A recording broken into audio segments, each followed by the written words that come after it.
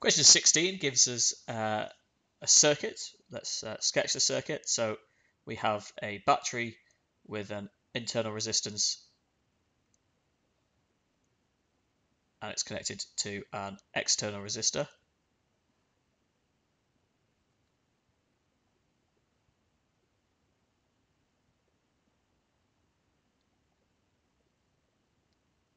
We know that the EMF of the battery is 8 volts and the internal resistance is 2.5 ohms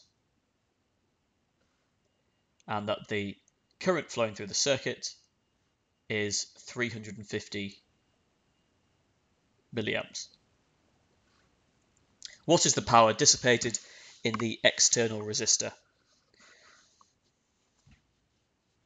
Well, to work this out, we need to use the equation P equals IV, which will allow us to work out the power dissipated in that resistor. However, we don't know the voltage uh, across that resistor. It's not 8 volts because some of these volts uh, are being dropped across the internal resistance of the battery. So we need to find out what the terminal voltage V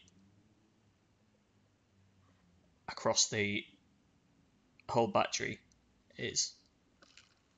So to do that, we can refer to our formula sheet, which tells us that EMF is equal to the terminal PD plus the so-called lost volts, that is the current multiplied by the internal resistance. We can rearrange then to find V, which is equal to the EMF, take away the lost volts.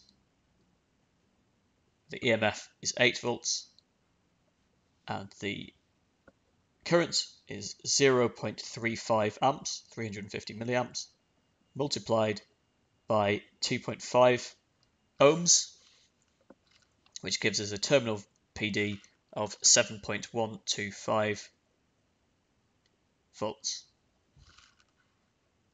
Now we can use P equals IV. So our current again, 0.35 amps multiplied by 7.125 gives us a power of 2.49 watts, which is uh, approximately 2.5 watts. So that is answer B. Thank you for watching this video from Cowen Physics. If you found it useful, please like, subscribe, and visit cowenphysics.com.